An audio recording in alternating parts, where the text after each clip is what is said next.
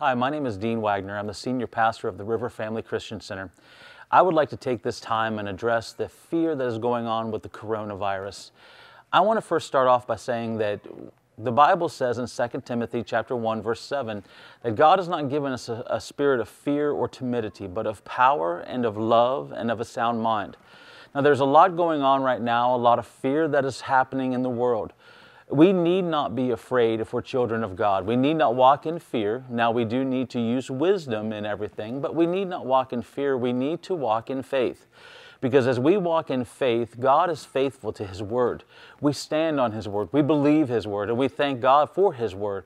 And so, as we continue on throughout this, we want to continue in faith, believing that God has got everything in control. We're not putting our head in the sand, but we are understanding that we stand in who Jesus Christ is.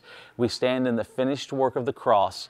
And so we stand in the completed work by faith, and we stand in faith for God to not only move, but to literally move in such a way that all healing begins to manifest in our lives.